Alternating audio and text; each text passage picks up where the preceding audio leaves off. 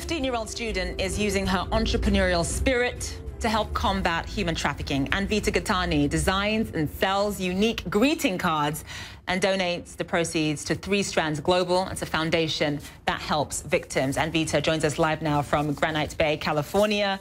Uh, via Skype. So, Anvita, I mean, I, I love this idea. Just how did you come up with the idea of greeting cards as a way to combat human trafficking? Thank you. Um, when I was in middle school, I went to an IB middle school, Winston Churchill Middle School. And um, starting sixth grade through eighth grade, we had to do a community project, community service project, and a project to help benefit the community as a part of IB. So um, it started in sixth grade, and I don't know, my mom and I were sitting down thinking of different ways I could help different people and different things. And in sixth grade, I had um, just learned a lot about cancer and the effects it has on people. And I was mm-hmm. um, passionate about Make a Wish Foundation and what they did. So I started making cards and um, selling them.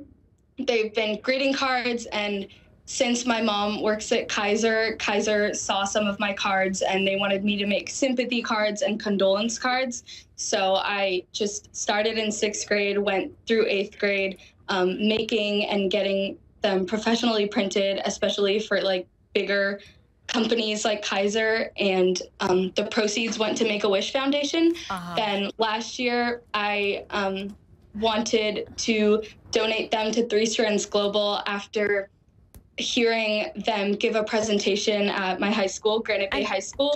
And Anvita, and Vita, by the way, as you're talking, we're actually looking at some of these designs. They're absolutely beautiful. If we could just bring them back, show show the world some of her designs. How did how did you even come up um, with these creations?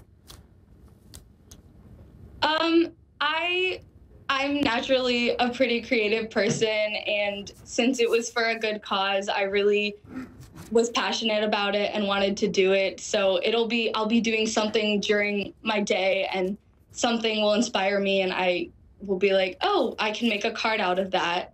to try to speak to people, especially with the sympathy cards. And do they have little messages in them in these cards? What sort of messages do they have?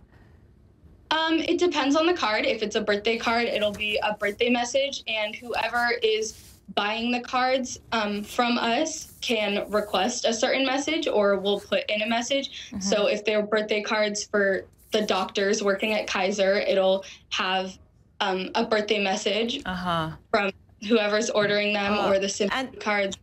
Anvita, they are just beautiful. Thank, we love hearing creative ways how people are combating uh, this issue. Anvita Gattani, thank you so much uh, for joining us and sharing your creations with the world. Thank you. Thank you.